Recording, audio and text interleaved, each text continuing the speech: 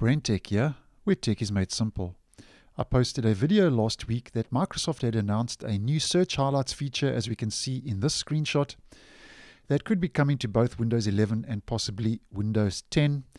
And this new feature will show interesting moments in time, as in this example, Earth Day, which will appear each day in the search window, including holidays, anniversaries, trending searches, and a whole lot more, according to Microsoft. And will also place your most recently used apps and files in a, a menu to the left hand side now of the search window.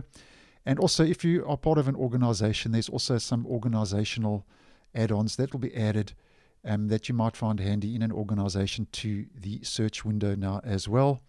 And uh, um, I will leave a link down below to that video if you're interested, as it'll just give you a little bit more information regarding the new search highlights feature. Now, the latest regarding this new feature is that in the latest Windows 10 uh, Insider Preview build 19044.1618, which was released um, on the 14th of March uh, to the release preview channel with the latest update KB5011543.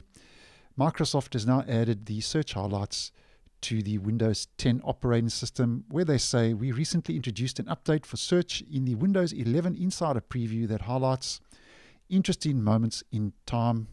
This feature, Search Highlights, is now coming to Windows 10. We are taking a phased and measured approach, and broad availability will occur in the coming months. So, um, these new search highlights will be rolling out to the stable version of Windows 10 uh, in the latter half of this year. 2022 according to these release notes. And basically, you can still, as Microsoft says, you can still do all the other um, uh, functions regarding the Windows search, where you can search for your apps, files, settings, quick answers on the web, and so on. But the um, the new feature will put, um, as mentioned, those interesting moments in time, um, including holidays, anniversaries, um, and a whole lot more uh, into the search window. And then, as mentioned, um, if you're part of an organization, you get a couple of extra add ons and features as well that you might find useful, which I did cover in that previous video.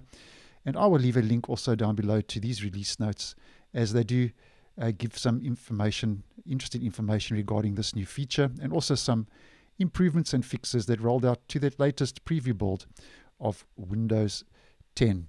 So it's basically official that Windows 10 now is also getting the search highlights feature that um, Microsoft uh, mentioned with the Windows 11 Insider preview last week.